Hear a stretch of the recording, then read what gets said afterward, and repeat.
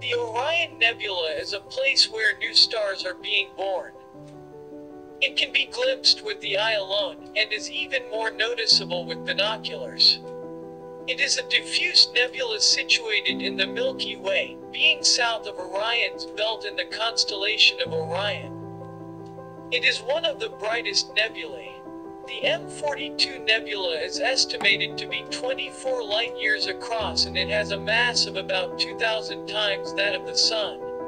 M42 is located at a distance of 1,344 light years from Earth.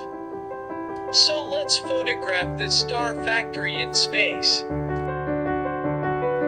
Equipment's used. Canon 1500D unmodified camera with a lens 18 to 55 mm. Track with equatorial mount tracker. And softwares used are Deep Sky Stacker for staking and Photoshop CC for stretching. Now let's stack multiple frames in Deep Sky Stacker.